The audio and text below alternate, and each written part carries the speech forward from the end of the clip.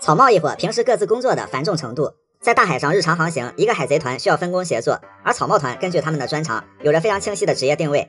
其实大家平时都有事情要做，只不过职业不同，给人带来的忙碌感受也就有轻重之分了。当然，如果非要找一个船上平时最闲的，那无疑就是船长最闲了。路飞平时确实不需要干啥活，从路飞奇特的作息上就看得出，路飞平时没有什么固定的工作要做。不过作为一个海贼团的领头羊，路飞平时需要做一些重大决策，包括确定草帽团的下一个目的地。剩下的自然就交给伙伴们去细化了。路飞则是在战斗中挑最硬的骨头啃，此刻才会体现船长的决定性作用。这样来看的话，路飞平时的工作虽然不能很具象化，但却是一个海贼团前途和意志的体现。布鲁克比较悠闲，如果看布鲁克的睡眠时间，他只睡五个小时，但是更有可能是老年人睡得比较少。布鲁克平时的工作也不繁重，经常可以看到布鲁克端着他的茶杯在甲板上悠哉悠哉的喝茶。不过作为音乐家，布鲁克当然还是有很具体的工作的，为大家创作经典的旋律，气氛到位的时候演奏一曲。在大家忙碌完一天的工作后，给大家带来欢乐和放松。罗宾游刃有余。罗宾的睡眠作息还是非常健康的，晚上十一点睡，早晨六点起。作为考古学家，罗宾平时的工作就看书、养花、陪娜美逛街购物，所以罗宾常常显得安静优雅。不过，罗宾每天看书研究的时间还挺长的，经常出现在图书馆、餐厅或者甲板上看书，可能会有些累吧。不过，其实工作繁忙这种情况不会出现在罗宾的身上，毕竟花花果实工作效率无敌。在左屋的时候缝床单，一个人干两百个人的工作量也是轻轻松松拿捏。乌索普有点忙，乌索普的作息就有点熬了，夜里一点睡，早晨八点起。作为在战斗中才能大显神威的狙击手，其实乌索普平时也没有很固定的工作。乌索普要做的事情烦但不重，杂活比较多。比如弗兰奇上船之前，乌索普会兼任船匠，修修补补。往后还和弗兰奇一起测试新的发明。桑尼号上有他培育的植物丹药需要打理。作为狙击手，乌索普有时候也会担任瞭望手的工作，也会偶尔分担一下下水捞人的工作。还有就是经常钓鱼，给山治当食材。不管在梅利号上还是桑尼号上，都有一个乌索普工厂，是乌索普专门搞他那稀奇古怪的发明用的。平时乌索普很多时候就待在这里，所以乌索普干的活确实挺杂的，但每一样都不算重。乔巴通常挺忙的，乔巴是草帽团里一口气睡得最多的，从晚上九点一直睡到早晨七点，虽然睡得很多，不过乔巴属于特别刻苦努力的，经常看到他在勤奋的工作，研制研制一些新的药物、新的配方。草帽一伙有几个人还是比较奇葩的，因为他们从来不生病，这倒也减轻了乔巴的一些工作量。不过奈何草帽一伙打架受伤的时候比较多。这个时候，乔巴的作用就很重要了。为什么每次草帽团战斗完，很快就活蹦乱跳了？一个好厨师，一个好医生不可或缺。而且乔巴有时候也会给友军治疗，此时乔巴的工作量就会激增。甚平比较专注，作为最好的舵手，草帽团以后开船的事儿就全权拜托甚平了。这份工作其实还需要很大的精力和专注度的。好在在娜美和弗兰奇的协助下，甚平也不会太疲惫。当然，甚平还有另一份工作，那就是草帽团捞尸大队队长。以前都是索隆带头捞，现在这已经到了甚平的专业领域了。一个海流过肩摔，你们只管钓，捞不上来算我输。弗兰奇会很忙，弗兰奇夜里一点睡，九点起。虽然现在盛平担任了舵手，不过弗兰奇作为船匠，平时检查维护船只，修修补补，填装能源，甚至卸到桑尼号上的秋千也需要检查。这么一艘大船，工作量也不会少。桑尼号之所以能一直驰骋，弗兰奇的工作非常重要。弗兰奇也会搞一些发明，这些工作也相当耗时耗力。索隆会很累，索隆的作息完全就是修仙，凌晨四点睡到早晨七点，身体那真好。索隆经常要在健身房里锻炼到深夜，并坚持守夜站岗，所以索隆白天会在甲板上打瞌睡，并附带疗伤效果。在这种状态下，索隆还需要承担一些出力气的活，何况两年前索隆身上的伤还就没好过。这一路上，索隆也没少干过很多杂活，修船、捞人、洗盘子、当娜美的苦力、照顾乔巴，船上一些大小事务。而且作为实质上的二把手，还得费心尽力地督促船长。工作不仅烦，而且重，还是让索隆睡会儿吧。娜美是一刻都不能松懈。别看娜美的作息也很充足，但这艘船没有娜美一会儿都不行。出渔人岛的时候，只因娜美去洗澡了十分钟，其他人就捅了娄子。平时娜美当然还要负责观测海流天气，掌握航向，绘制海图，精打细算草帽团的各项花销，维持船上秩序，时刻确保这帮人不会把船开进沟里，精神高度紧张。想想就知道娜美每天还是非常忙碌的。而山治才是每天忙得满满当当的。山治早晨五点就起床，半夜十二点睡觉，从早餐到夜宵，精心照顾伙伴们的饮食。草帽一伙的食量惊人，尤其是路飞，一天要干五顿饭，加上大家的一日三餐。山治做完这顿就得准备下一顿，时不时的给娜美上点饮料点心，再给其他人整点小零食啥的。碰到宴会还得大显身手。饭后收拾桌子、刷碗、洗盘子。上路的时候去购买一堆食材回来。平时山治还是娜美橘子园和厨房冰箱的保安，即便睡觉也会担心路飞会不会偷吃。夜长梦多，赶紧起床。作为主力，战场上还得跟人玩命，这是一会儿也不能歇着。作为伙伴，草帽一伙之间都是心甘情愿的付出，他们自然也很喜欢自己的职业。不过要说谁的工作看起来最繁重，山治背地里的辛苦就像他默默的温柔。路飞、索隆、山治的江湖名气，路飞的江湖名气有句话说得好，没事儿我是路飞，我要当海贼王，有事儿我叫蒙奇 D 路飞，有种冲我爷爷来。两年前司法岛后，路飞的名气虽然不小了，但当别人知道路飞是卡普的孙子、龙的儿子后，瞬间就升华了，觉得这事儿多多少少有些不可思议。从此，路飞在别人的嘴里不光是草帽小子，还多了个卡普的孙子的头衔。草帽小子可以一棒敲死，但卡普的孙子怎么着也得掂量掂量。索隆当年被路飞忽悠上船，但索隆那个时候已经不是无名之辈了，反而在江湖上还小有名气。索隆之前当海贼猎人的时候，已经积攒了不少名气。以至于连当时还没见过什么世面的科比都知道索隆的大名。后来在海上还遇到了强尼约瑟夫两个小弟，张嘴一声索隆大哥，让路飞还有些懵逼。在新手村附近有名气，其他地方呢？到了罗格镇，这时候索隆还没有被悬赏，被迫在海军基地打杂的时候，还没待多久，居然很快就被海军认出来了。海贼猎人索隆就是你。当然，索隆做海贼猎人时期跟海军打过交道也很正常，但是进了伟大航路，应该就没什么名气了吧？结果到了阿拉巴斯坦，遇到 Mr. One 的时候，被 Mr. One 一眼就认出来了。海贼猎人索隆就是你，是因为巴洛克工作社几年前曾向索隆发出过入社邀请，但是索隆这个狼面，当时说让我当老大我就加入，这句话伤害不高，侮辱性极强。当时老沙的手下不答应，索隆就把那人给杀了。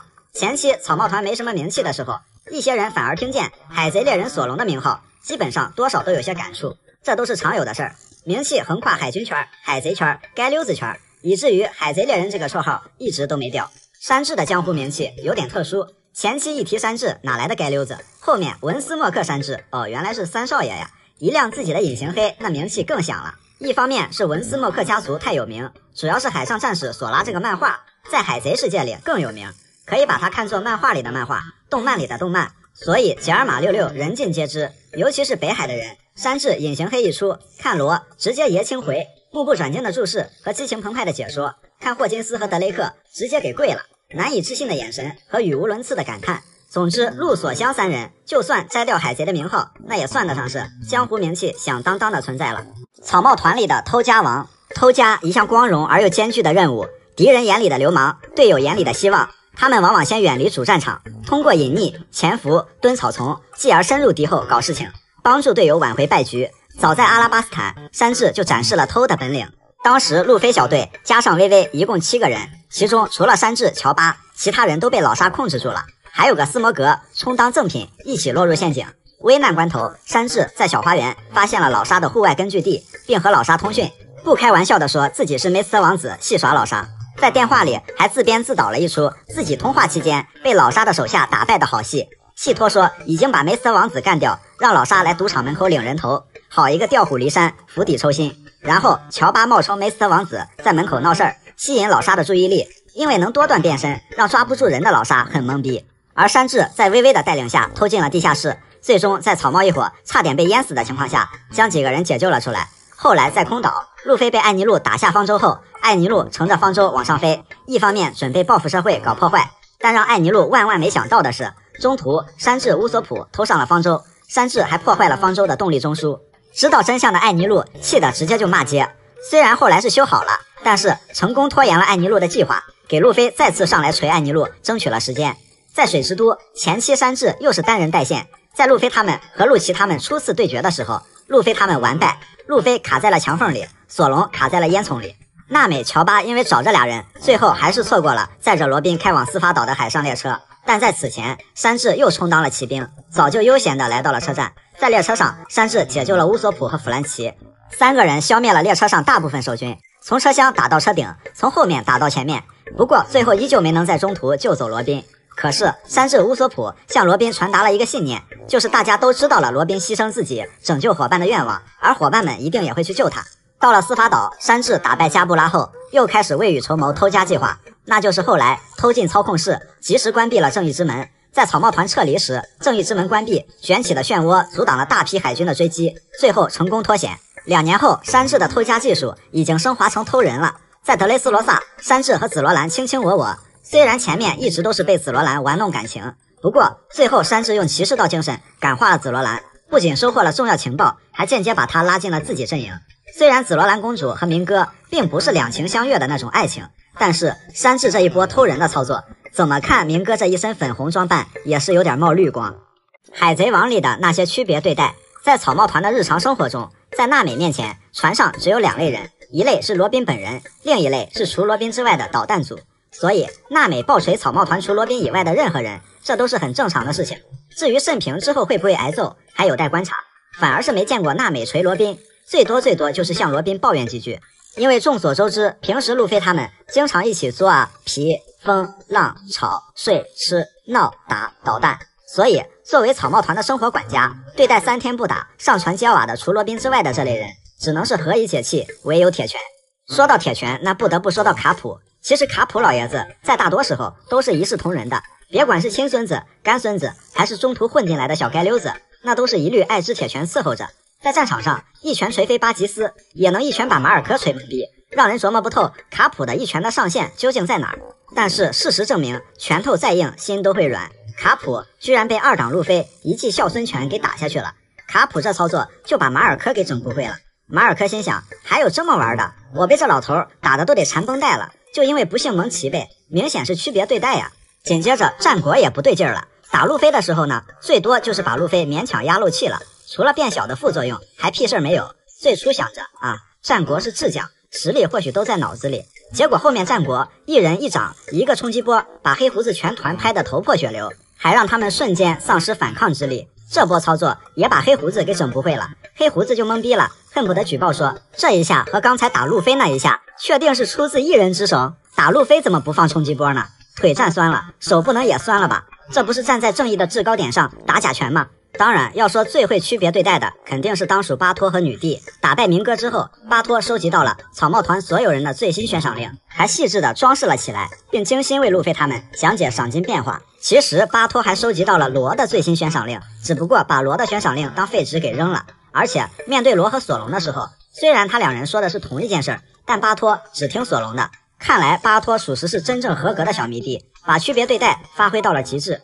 女帝也不相上下，在他眼里，全世界只有两类人，一类是路飞本人，一类就是其他人，爱谁谁。路飞饿了，女帝当牛做马，亲力亲为也要喂饱路飞。甚平呢，悄悄吃一个梨，结果被女帝厉声训斥，吃的太多了，吓得甚平还差点被一只梨给噎死。在巴托和女帝这两人面前，路飞也有区别于众人的满级美颜滤镜。海贼王里那些多少有点不靠谱的技能，我有铁块我无敌。海军六式里的铁块不只是一种体术，现在看来还是一种信念。所以在司法岛中就可以看到一系列的迷惑操作，明明可以闪开，却偏要开出铁块硬扛伤害。要说这铁块能减少伤害，也没看出来比别人伤得轻。明哥连接四档，没过多久就跟贺中将有说有笑，牙都没掉。陆琪用铁块接二档，被路飞突突的差点没爬起来。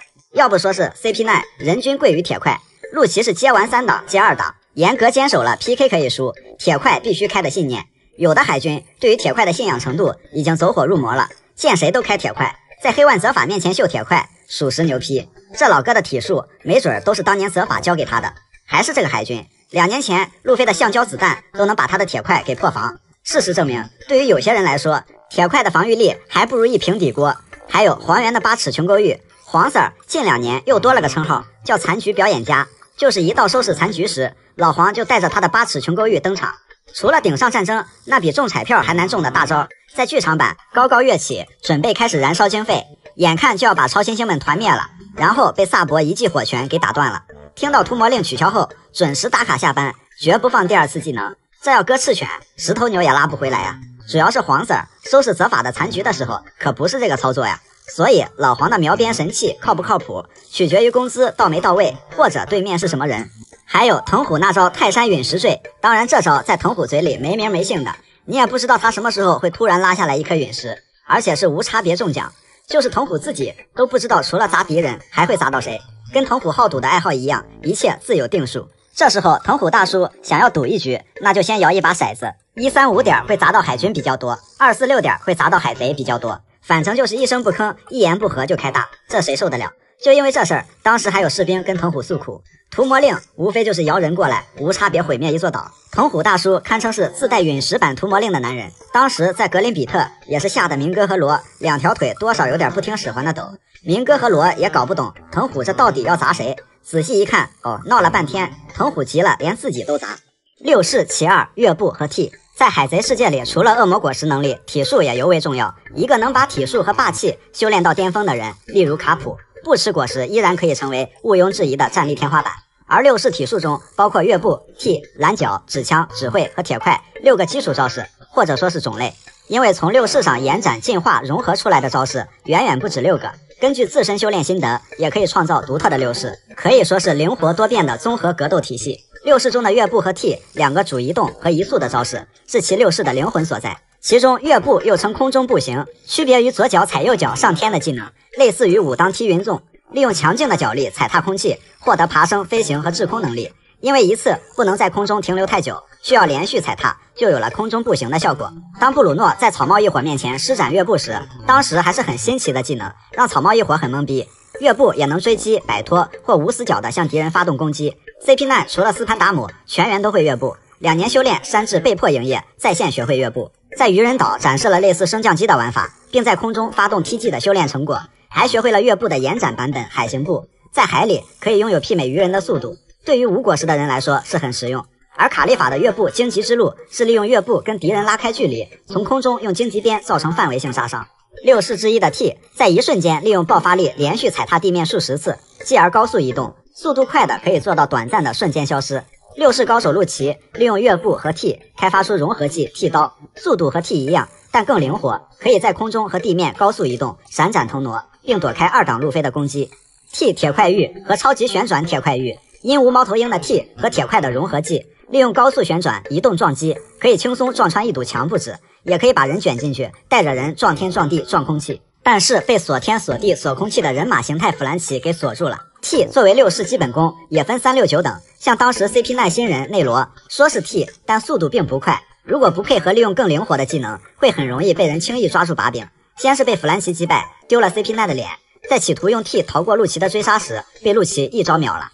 T 这个技能不光是海军，海贼里也有很多人会用。在进入和之国的时候，娜美居然用出了 T，扑上来就给了不听话的路飞一拳。所以说，在草帽团里，娜美的体术和霸气，洛克斯海贼团解散后的大事迹。早在罗杰成王之前，有一个集结了年轻白胡子、金狮子、凯多、大妈、银斧、王直、约翰等一众强者的传说级海贼团，其船长洛克斯蒂吉贝克本正向着世界之王的梦想前进。三十八年前，因为在神之谷袭击了天龙人。再加上团内一直存在不可调和的矛盾，最终被卡普和罗杰联手击败。但当时谁也没想到的是，从洛克斯海贼团里走出来的这些人，后来都成了名扬四海的大海贼。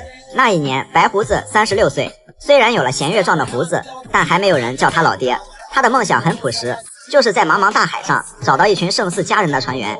金狮子不到四十岁的年纪，他的梦想却很远大，想要统治世界。两人离开洛克斯海贼团后，迅速崛起。短短几年的时间，便与四十多岁向往自由的罗杰一同成为海上的三大海贼。而大妈离开洛克斯海贼团时三十岁，在白胡子、金狮子蓄势崛起的这几年里，他的万国正式挂牌营业了。大妈三十三岁的时候，斯慕吉出生；十八岁时的玲玲就已经当了妈妈，而这是他的第十四个子女。此时的佩罗斯、佩罗、卡尔、大福、欧文都已经进入青春期了。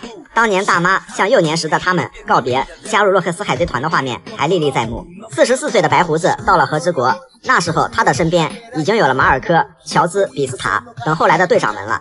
在这里，他收了光月玉田，视玉田为兄弟。三年后，金狮子和五十岁的罗杰爆发了艾特沃尔海战，金狮子被突如其来的暴风雨袭击，之后老实多了。又过了一年，四十八岁的白胡子和五十一岁的罗杰相遇，两个大海贼爆发团战，大战三天三夜，最后把酒言欢。罗杰不卖拐不卖车，稀里糊涂把光月玉田从白胡子手上忽悠走了。第二年，五十二岁的罗杰到达拉夫德鲁，成为海贼王。也是这一年，凯多入主和之国，和黑炭大蛇一起将和之国变成武器生产国。五十三岁的罗杰自首被公开处刑，处刑前一周，金狮子单刷卡普战国，被暴锤一顿，关进推进城。处刑那天，十五岁的香克斯自立门户，再次出海。从此，罗杰时代落幕，四皇时代渐渐成型。罗杰死后的一年，凯多把二十七岁的莫利亚虐到心态崩溃。莫利亚带着龙马等人的大批尸骨和秋水跑路了。三年后，玉田讨伐凯多，将凯多砍伤，但受到凯多的斧烹之刑，最终被杀害。而黑胡子注意到了洛克斯的前车之鉴，洛克斯海贼团成也强者众多，败也强者众多。就像有些小伙伴的神评，黑胡子说：“我是来找小弟的，不是来找大哥的。”所以黑胡子和巴雷特只是在人群中多看了一眼，然后黑胡子秒怂，惹不起，惹不起。但黑胡子高低还是收了几个推进城六层囚犯，无疑是跟洛克斯有一样的野心。自己的船直接就命名为吉贝克之剑号。自己的驻扎地也是曾经洛克斯所在的蜂巢。还有原大将青雉不明不白的来合作。下一个能把黑胡子打得叫爹的，不知道是谁。总之，现在只能用一个字来形容黑胡子的处境：危。光月玉田复活的两种假说：第一，模仿说最有可能的三个伪造者：一，能把画出来的东西变成实体的勘十郎；二，能变身的一度狐牛鬼丸；三，能变身的九尾狐戴鹏。其一，黑炭勘十郎真实画工很好，曾经画出了一模一样的自己，骗得警卫们他们云里雾里的，后被打成重伤。因为凯多砍下了黑炭大蛇的头颅，勘十郎爬起来被迫营业，画出了一个光月玉田，振奋人心，揭竿而起，锄强扶弱干凯多。一波碟中谍的操作后，走上了洗白之路，这是一种猜测。其二，牛鬼丸那个身影是光月日和的身影和侧脸，他带着牛鬼丸秘密登上鬼岛，来到这里。狐狸脚下一阵烟雾，变换成光月玉田，拯救鼓舞战败重伤的赤鞘九侠，或在战局中死诸葛吓退生仲达，让凯多回想起当年被玉田砍伤的心理阴影。但根据神话故事，一度狐只能变一次身，牛鬼丸从僧侣变回狐狸的时候，自称已经完成使命了。其三，九尾狐戴鹏。黑胡子他们贯彻鹬蚌相争、渔翁得利的战术，瞒天过海，秘密登上鬼岛。当然不是为了和其他三皇搓麻将，而是另有企图或者捡漏。如此一来，战局又将扩大。不过，这个玉田和戴鹏的叉腰动作虽极其相似，但其实玉田本尊也习惯用这种叉腰的动作。第二，穿越说，其一，眼前的玉田就是真玉田。二十年前，在玉田被处刑之前，玉田在监狱中和石夫人碰面并拖刀的时候，通过石夫人的能力来到现在。此后，玉田会和路飞他们参加决战，击败凯多，见证和之国开国。然后尾田吃设定觉醒了，或者只能用一次了。时间果实又能挂上倒档了。玉田和大家告别，回到二十年前慷慨赴死。玉田又必须舍命救下赤鞘九侠，尤其是警卫们。他正是二十年后将路飞等人引向和之国的人。玉田说了几句意味深长的话后，最后笑着沉入油锅中。其二，石夫人的时间能力有寄托某个时间节点的能力。玉田也是玉田，但不是肉身，而是曾经某个时间点上的一段留存。先在房间里出现的黑影是石夫人，然后开启能力变化出玉田的身影，或许是要传达意义重大的话语或信息，但会很快消失。最后的决战还是交给新时代的人们来掌控。当然还有脑洞大开级别的，那个出现的黑影是艾尼路，耷拉下来的长长的是艾尼路的耳垂，这波操作只能说是很骚了。还有玉田出海期间吃了什么复制果实之类的。要是这样的话，当年下油锅的就是凯多了。虽然猜测很多，不过能推敲的也就几个。模仿和穿越都有 bug，主要是看尾田怎么圆了。花剑、玉田和鹰眼，由于红发断臂后，鹰眼不再跟红发切磋，每次登场也不会展示真正实力，又挂着世界第一大剑豪的头衔，鹰眼的实力反而越来越遭受质疑。身为世界第一，那就免不了要对比。一方面是对比二刀流剑豪光月玉田的原因，主要是顶上战争鹰眼和比斯塔的短暂对决。首先，花剑比斯塔的实力也很强，三十年前就用着两把西洋刀，跟随白胡子南征北战，能和鹰眼多个回合交手不落下风的实力还是有的。鹰眼当时第一时间就认出了比斯塔，说明比斯塔在剑术的高手榜单里是能排上号的。而比斯塔则表示能跟世界最强剑豪切磋，这是剑士的本能，也感到荣幸。这明显比斯塔话里更多的是崇敬，而鹰眼是欣赏。但是在花剑生命卡上有这么一句，其剑术和鹰眼不相上下。如果要这么说的话，但凡是个剑术高手，都能和鹰眼不相上下。红发的面子没了，世界最强剑豪的面子也没了。不过再看和鹰眼实力不相上下的下一句，在这场战斗中，双方的刀都没有砍中对方。要是只是因为两人打了一阵太极，未分胜负就断定实力相当，这就有点草率了。相比于比斯塔来阻挡鹰眼，当时鹰眼显然是没把心思放在和花剑 PK 上，象征性的比划了几下。鹰眼当年是为了追克里克，从伟大航路到东海。砍了他五十艘船也得跟过来，而这一次他只是为了去追路飞，为了保护路飞，先后慎平、比斯塔、达兹波尼斯轮番上去拦，路飞还用出了八击替罪羊，最后老沙过来才把鹰眼给拦下。后来红发来了，鹰眼算是给个面子就撤了。除了慎平被秒那一段是加戏，但也没人真正能控制住鹰眼。全场从头打到尾，黄猿的衣服微脏，鹰眼的衣服也只是微脏。要说玉田和鹰眼的实力，出海前的玉田跟白胡子干了一架。后来被罗杰一招神臂击飞，只能说玉田那时候的实力并没有想象中的那么强。虽然特效很唬人，但和罗杰、白胡子这样的强者还是有不小的差距。回到和之国后，才是他一生的巅峰时期，但那个时候的实力和武器依旧没有达到他的上限。如果玉田还活着，但是也没有如果。对比鹰眼现在的实力和刚出海时的玉田，显然鹰眼会强很多。设定上的东西，这么多年以来，鹰眼是唯一一个剑术方面有第一头衔的人。鹰眼的实力也是公认的。那孤傲的性格，老凡尔赛了，随身挂着小刀虐菜，不遇到真正与之匹敌的对手，他也不会展露真正的实力。六个黄团各自的王牌干部，每个黄团团长都有自己的几个最能打的塔尖干部，一般起步都是一黄三将的牌面。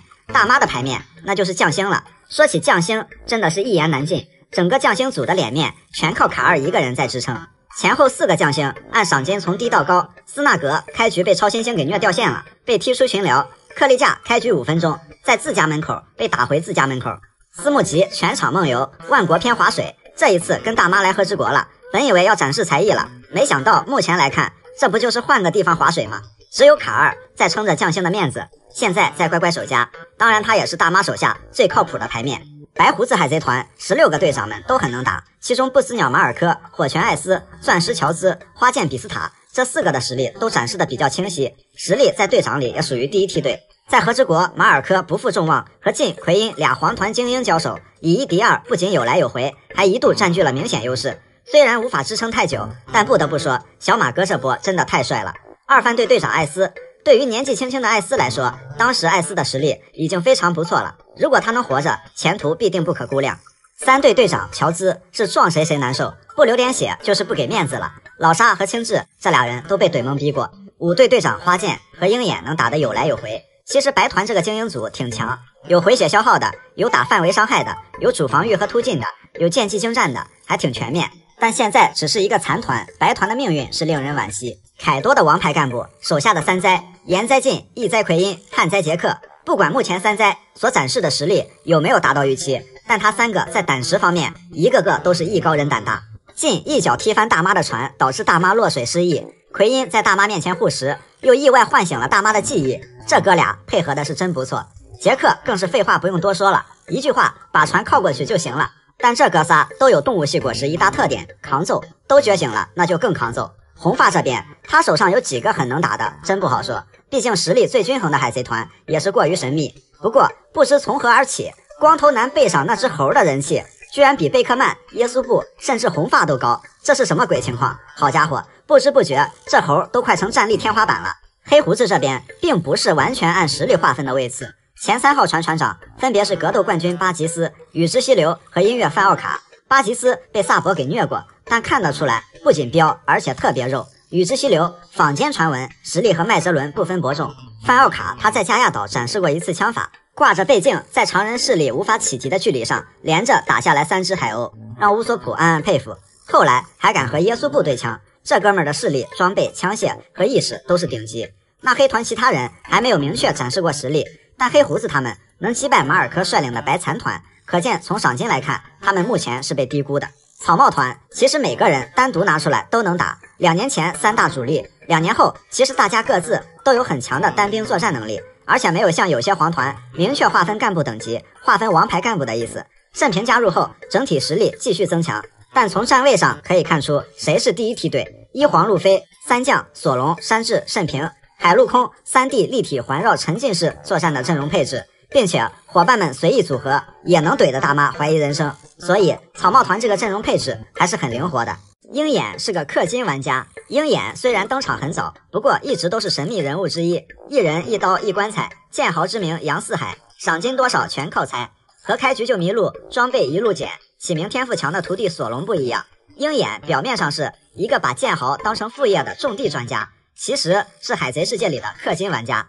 鹰眼符合氪金的四大属性：第一，极品装备，手握一把造型极其炫酷、好看的无上大块刀叶。当然，鹰眼的这把黑刀叶也不知道是怎么来的。看上面附加的宝石属性早点满了，反正就是极品装备。目前只能说是在尾田那里充钱了。除此之外，鹰眼应该还买了攻击特效，每一刀看起来都像平 A，但随便一刀就能砍出比人家大招还夸张的剑气波。实锤绝对买皮肤了。第二，容易杀风。既然刻出来了好装备，那必须是底气满满。相传克里克嘲笑鹰眼用黑刀叶划船，鹰眼当时就不乐意了。极品装备是我自己练出来的，合出来的，想怎么用怎么用，就算用它锄地也是天经地义。然后鹰眼横扫克里克五十艘船的舰队，从伟大航路追到东海，最后把他的旗舰给劈成了寿司才解气。第三，日常凡尔赛用朴素的话语，不经意的流露出实力的操作，鹰眼最在行了。面对当时还没出东海的索隆，一句没有比这更小的刀子了。言下之意，打那时候的索隆，他只需要用新手装备，只靠属性加成也能一只手完虐。索隆三刀流念师砍藤虎的陨石，一顿操作后，成功将陨石劈开。就在索隆继续准备秀操作的时候，一道剑气划过，鹰眼一刀把陨石整个砍碎了。鹰眼这里无比淡定，看完之后就喊佩罗娜走了。但他的眼神和操作又给索隆上了一课。第四，鹰眼头衔大，全服排行高。鹰眼正儿八经的战绩真不多，因为鹰眼也没有逃过氪金玩家长期在某一领域霸榜，然后默默爱上了种田的定律。但他身上的标签多呀，世界第一大剑豪，曾经和红发剑姬五五开。索隆毕生想要超越的目标，哎，这就有意思了。因为鹰眼头衔和绑定太多，就算鹰眼天天在家睡觉，从不正经打架，各种摸鱼划水，他的实力都不会太掉价。毕竟全服前列在那摆着呢，能有什么办法？这也造就了鹰眼虽然榜上有名，但专注种田，平时喜欢四处溜达，偶尔虐人，顺便再收个徒弟的生活特点。卡二和他的诺诺果实，路飞进入新世界后遇到了两个让他自身受伤不轻，但也受益匪浅的对手和老师，一个是明哥，一个是卡二。这两个都是超人系能力，都已经觉醒，都会三色霸气。卡二更是在这几个方面几乎没有破绽和短板。所以路飞在和卡二 PK 的时候，一开始零一二三档根本打都打不到。卡二就说，只要他想躲，路飞绝不可能打到他。有顶级见闻色，但就是要跟路飞对拳，哎，就是玩。卡二想让路飞知道什么是速度、力量、霸气、能力全面压制的绝望。前期卡二确实在玩，因为他有开发到顶级的诺诺果实能力，可以随意捏造型。卡二居然很嘲讽的模仿路飞的技能。用敌人的招式打敌人，结果攻击力还比路飞更强，简直是杀人诛心。比如卡二版鹰枪乱打，卡二版象枪，卡二版灰熊冲，卡二版巨人战斧，卡二版象枪乱打，哪一个不是把路飞摁在地上锤？卡二还可以在任何地方制造很多糯米手。路飞二档再突突也只是两只手，卡二好几只手火力压制。卡二表示不就突突吗？谁不会呀？山寨的比正版的牛批，甚至打得路飞一度怀疑我这橡胶果实他喵的是不是个假的。虽然路飞发现了卡二除了果实能力最强的其实是他的见闻色，但四档路飞还是一样被碾压。之前每次开发出新形态就能打败对手的定律，在卡二这里不好使了。即使路飞祭出更灵活的四档蛇人形态，还是不能压制卡二。毕竟卡二诺诺果实的特殊性，加上无可挑剔的见闻色，各种变形闪躲，路飞的蛇皮走位拳呢，已经快到只有残影，还能反弹拐弯，出其不意。但卡二还是能在路飞的饱和打击中钻出来。打到最后两败俱伤，但路飞和卡二都爬起来了，两个人再打下去也不成问题。但显然下课时间早就到了，卡二老师都脱堂了。从一开始的不屑到认可，再到你看到的是更远的未来，路飞同学你很棒，咣叽往后一倒，卡二完美完成任务。当然，卡二和路飞对于双方来说都是可敬的对手。卡二最霸气的操作不仅是能力和见闻色，卡二知道导弹妹妹给路飞使阴招，才导致路飞突然发挥失常后，卡二狠狠的。自己给了自己一下，扯平了，然后甩开偶像包袱，来一场真男人之间的狼灭对决。在内，他是一个宠妹妹的好哥哥；在外，即使知道自己有优势，也要保持君子对决。这些才是卡尔魅力的精髓所在。堂堂七武海不要面子的吗？七武海很早就有被提及到，在约瑟夫的描述里，七武海还是一个极为强悍且恐怖的势力。结果七武海前前后后总共十一名，其中老沙倒在了阿拉巴斯坦，莫利亚倒在了三维船，明哥倒在了德雷斯罗萨。后来上位的七武海巴基，早在橘子镇就被打飞过，皆败于路飞之手。熊还是路飞老爹龙的人，罗和慎平后来一个成了路飞的盟友，一个成了路飞的船员。更绝的是女帝干脆直接想和路飞原地结婚。整个七武海里面，也就鹰眼最老实，立场不明确，结果最后还成了索隆的师傅。剩下两个黑胡子和白二世，一个放了本部的鸽子，一个被本部。放了鸽子，战国哭着跟老元帅钢骨空倾诉：“快求求五个老头子废除七武海吧！再这么玩下去，我他喵的都快成草帽团八番队队长了！”掉。高冷男神终结者路飞，海贼王里有这么一个人，他不仅生产沙雕，同样也是沙雕性格的搬运工。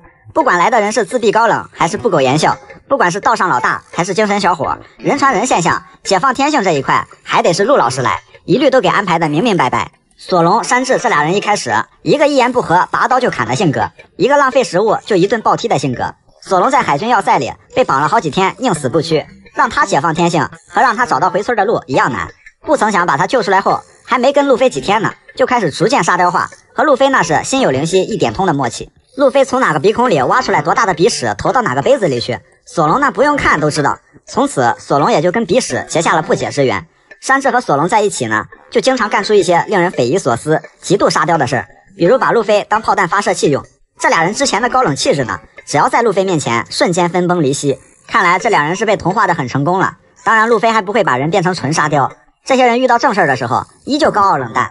但路飞一旦开始沙雕，那其他人基本帅不过三秒，眼神中就会莫名其妙衍生出来一丝沙雕气息。甚平老大够高冷吧？从小在愚人街摸爬滚打出来的大哥，在推进城第一次和路飞见面，然后两人无言对视良久。此刻沙雕之气正在两人眼神间传输，好强的沙雕色霸气！顶上战争结束，和路飞一起吃饭。盛平忙活了大半天，刚想吃个小土豆，女帝从背后直接把盛平给吼住了，吓得堂堂一前妻乌海差点被一土豆原地噎死。比较神奇的是，路飞并非主观的让人变沙雕，而是跟他玩久了，就潜移默化的水到渠成了。路飞把人家白星公主带出来遛弯，盛平反射弧还有点长，反应过来后，着实是把盛平给看傻了。堂堂一名声在外的大哥，即兴来了段演艺表演，然后和路飞、索隆这俩人在一起呢，那更是没脾气了。路飞和索隆这两人呢，一个睡饱了吃，一个吃饱了睡。一直正儿八经的盛平，不仅是心态有些微微崩溃，还被这些人带得快上道了。更觉得是布鲁克头盖骨储藏库打开的那一瞬间，盛平看到的那一刻，不禁在想：我身边这他妈都是些什么玩意儿？像罗这种从小到大都在失序中度过的苦孩子，突然有一天头顶上多了只乔巴，谁受得了？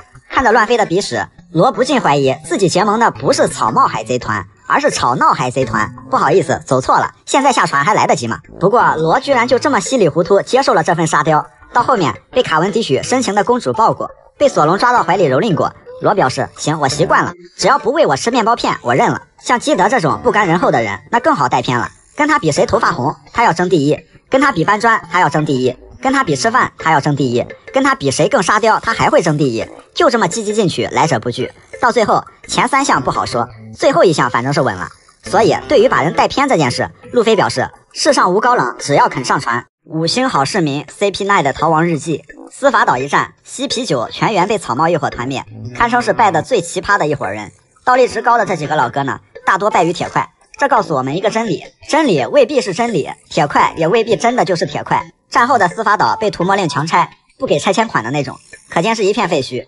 要说布鲁诺这果实能力，如果去盗银行保险库，一天搬光几十家完全没有问题。此刻，他将奄奄一息的陆琪救了出来，而西皮酒的其他人也都聚集在此。不过，只有陆琪倒立最高，铁块最硬，但受伤最重。低空盘旋的鸽子哈德利已经急哭了。不过，最狼狈的还是卡利法。之前被娜美打败后，又被急切想要找到钥匙的娜美残忍地撕破了衣服，现在只能裹着一块破布。不得不说，女人对女人下手就是狠。不过他们的处境并不好。斯潘达姆经过零点零五秒的深思熟虑后，果断甩锅卖队友，还在那咯咯咯的笑。而世界政府的人呢，正在搜寻他们的下落。这下五星好市民没跑了。随后大伙决定先跑路吧。平时看起来最吊儿郎当的加布拉，不仅把自己的上衣给卡利法穿，还背着一向跟自己不合的卡库。他们来到一座叫春之女王镇的地方，但是苦于窘迫的处境，并没有医药费就是重伤的露琪。本以为以西啤酒的行事作风和实力。吃霸王餐那还不易如反掌，但是他们并没有。西啤酒秒变杂耍团，可以说各显其能。魏曲在表演舞台剧，布鲁诺用门门果实能力和加布拉配合玩起了狼钻火圈。加布拉可是够卖力的，背上的毛都撩着了。猫头鹰和卡库直接就办了个小型动物园加游乐场。当时索隆还吐槽卡库：“你可以去动物园谋生。”没想到开光嘴这么快就应验了。不过看这架势，大伙的收益情况还都不错的。卡利法更是利用果实能力给小镇来了次大清洁，简直是用到了精髓。很快，陆琪的医药费赚够了，医生们开始为陆琪治疗，当然还有很多富余的钱。大家开始疯狂购物。卡利法换了身很 fashion 的打扮，还叼了根烟，看起来更御姐了。其他人在咖啡店悠闲地喝着咖啡。加布拉点了杯五颜六色、花里胡哨的饮料，卡库似乎在嘲笑他不知道该如何下嘴。终于，陆琪醒了，鸽子哈德利非常高兴。看起来应该已无大碍。陆琪出院的时候还跟医生表达谢意。大家都穿着休闲的衣服，看上去这些天玩得很 happy。果然，大家在这里玩嗨了。卡利法没控制住手上的力道，把人家保龄球洞给甩炸了。正当大家玩得高兴，一阵骚乱传来，警惕的布鲁诺有所察觉。原来在港口啊有个糖果海贼团入侵，看样子抢了很多财宝，而且还欺男霸女。不过这位老哥自认倒霉吧，你早不来抢，晚不来抢，偏偏这时候来。陆琪直接一脚就把这废物船长给秒了，接下来就是毫无悬念的一场混战，活生生把这变成了一场表演。不过陆琪做事一向比较极端，一脚把这船长给碾死了，差点儿把周围的人给吓尿。一是闹出这么大动静，世界政府必定察觉；二是他们不能一直待在这里，所以西啤酒选择是时候离开这里了。临走前，一个小女孩送来了一朵花，卡利法看似镇定地接过这束花，不过其他人却掩饰不住内心的错愕和紧张。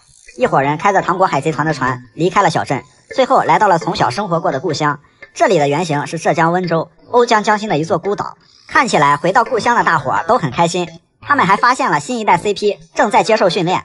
在这里呢，贝里古德上校为首的海军已经追到这里来了。这个乍一看还以为是战国儿子的海军，是豆豆果实能力者，可以将自己分裂成很多个球。满血复活的陆琪等人纷纷变身，阻挡来自己故乡造次的海军。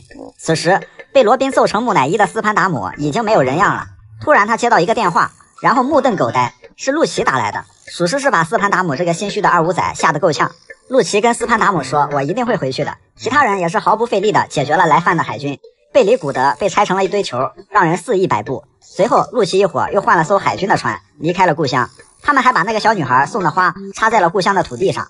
后来，陆琪、卡库和斯潘达姆出现在了 CP 零的组织里，而其他人暂时下落不明，可能隐居各地，伺机而动，也可能偏安一隅，真的做了个五星好市民。狂热行动里的那些细节彩蛋：水里出现了福克西海贼团的鲨鱼，水之都的海上列车飞驰而来，可可罗婆婆等人在车内，车顶上坐着水之都的船匠和工头们。还可以看到弗兰奇家族的成员，以及出现在强者世界和狂欢男爵神秘岛中的人物。来到球场，他们正在玩当年索隆山治玩的武斗球。观众席上出现了德岛竞技场的解说员，在一个展馆里看到了卡库、露琪、欢乐街女王 CP 零的人，边上是一尊白胡子的雕像。广场上随叫随到，送货上门的电话虫公司推销员。不远处是老沙的手下，情人节、黄金周和 Mr. Five。在海上，那更是细节满满了。除了海上列车，还有水之都的交通工具，路飞他们都坐过。另外还有阿拉巴斯坦的海猫，曾经盛平离开渔人岛冒险时，就遇到了一只迷路的小海猫。天上飞的是迪巴鲁的飞鱼骑士团，蛇夫老板的连结式铁板烧剑，店铺 logo 是用了山治初次悬赏令的头像，山治看见那还不得疯了。还有送报纸的海鸥掠过，人群中看到了老沙和剧场版机关城的 BOSS 陆琪在这里匆匆走过。在庞克哈萨德被索隆斩杀的巨龙以幻影的形式被投射出来。片尾，萨博让一个女孩投影出艾斯的身影，而这个女孩的名字叫做安。最好玩的还是无处不在的熊猫人，整个狂热行动里出现了好多好多次熊猫人。只要是人多的地方，仔细看看，总能发现他奇怪的身影混在其中。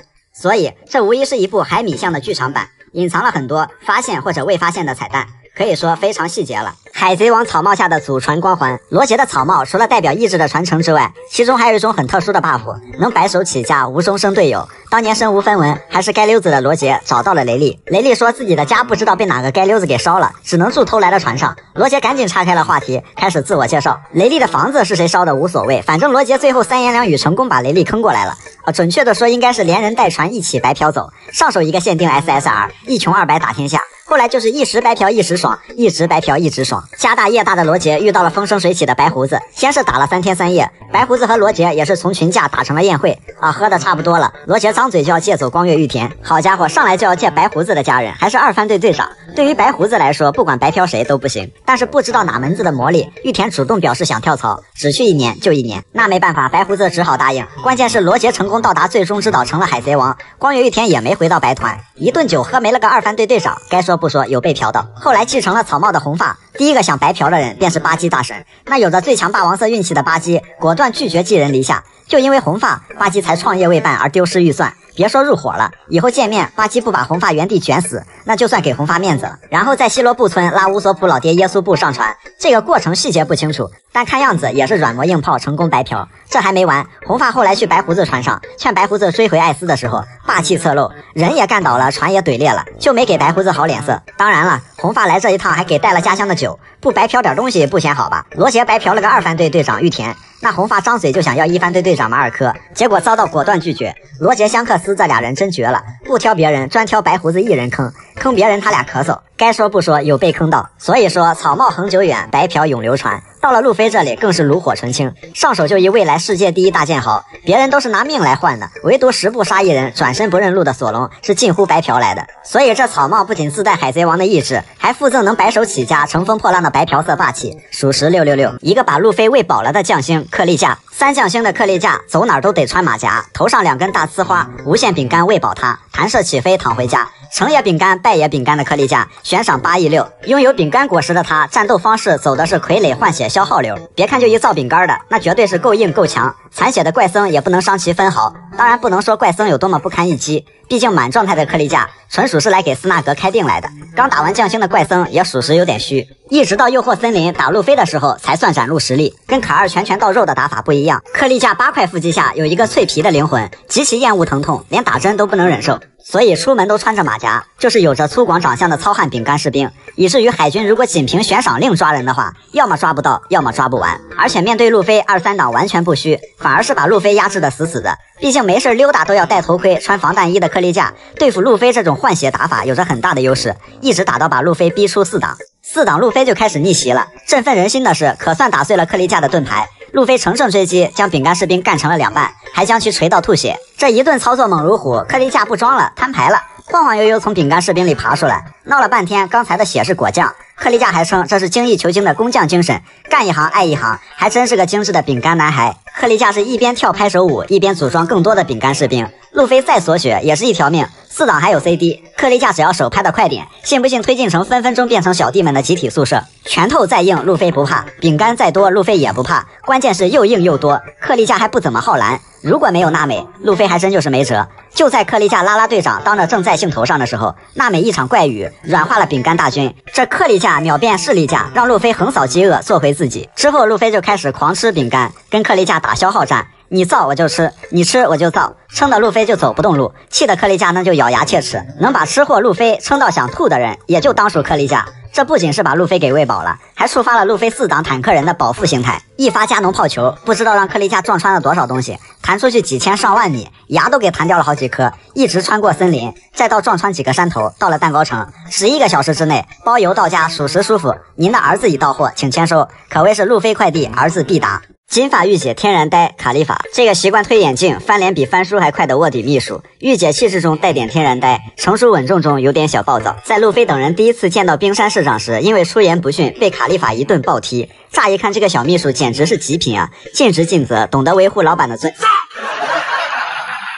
所以不要激怒他，他狠起来连自己的老板都踢。冰山估计也是最悲催的老板，在 CP9 亮出身份后，才知道原来跟了自己五年的秘书，居然是个从小就开始被培养的老演员。自古深情留不住，唯有套路得人心。原来这些人就是来调古代兵器冥王设计图的。冰山直接瞳孔地震，心态崩溃。赤犬和秦九直呼这招我熟啊！一桌年夜饭对影成三人。卡利法作为 CP9 里唯一的女性，除了精通六式之外，拥有的泡泡果实能力，属实也是正能量满满，简直就是能无限搓泡泡的人体泡泡机。而且是现吃现用，正所谓卡利法有三宝：眼镜、黑丝、吹泡泡。卡利法在 CP 那里倒立值六百三，除了斯潘达姆这个战五渣的长官，还有就是被陆琪喷是半吊子的内罗。卡利法的倒立值算不上高，但他的对手却正是山治。对山治来说，战斗力高低无所谓，只要是卡利法这样的，一律算最为凶狠的对手。屡战屡败不说，山治还可以随时原地喷射起飞。在这种情况面前，山治这不是第一次，也不是最后一次吃亏了。要说以山治的实力，明明可以轻松打败卡利法，奈何血可流，蛋壳碎，骑士精神不能跪。突然就听到什么东西猛然碎掉的声音，卡利法轻松击倒山治，还用果实能力把山治变成了滑溜溜形态。之前说过哪哪都滑的亚尔丽塔，那这就是不用买沐浴露的卡利法，而且还能让别人变得哪哪都滑，给人来一套小秘书秘制按摩手法，这就跟全身瘫痪了差不多啊！这个地方有必要叫下保安。虽然卡利法看起来是很认真的在打架，但那天然蠢萌的脑回路还是暴露无遗，一本正经的把嗑了药的乔巴认成了娜美。这下可把身后的娜美给整懵逼了，事后还为自己认错人的骚操作找借口，心里好像在说：“我堂堂一成熟稳重的御姐不要面子的吗？”泡沫大师那一招听上去看起来好像是什么挺厉害的招式，结果被打败后的卡利法失去意识，这还不算什么，还被迫切想要找到钥匙的娜美撕破了衣服。不得不说，女人对女人下手真够狠。CP 奈被团灭后，又遭到斯潘达姆和世界政府卸磨杀驴的待遇，卡利法和其他成员无奈开始了亡命天涯的生活。在一个镇子落脚期间，还击败了来抢劫的海贼，收到了一个小女孩送的花。大家为了给洛奇筹集医药费，各显其能，街头卖艺。卡利法更是用自己的泡泡果实能力给城镇做清洁，劳动人民最光荣。原来这果实还能这么玩，符合绿色环保可持续发展观。卡利法果然从头到脚，从里到外都是满满的正能量。